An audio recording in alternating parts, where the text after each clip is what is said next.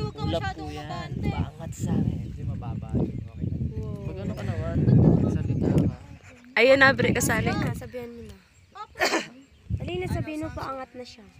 Sinabi ko Tapos, na. makakainis, tinakpan niya yung cave sunrise. Bigla ako walang picture kasi wala akong Sunset, mumuyaw po yung sunset.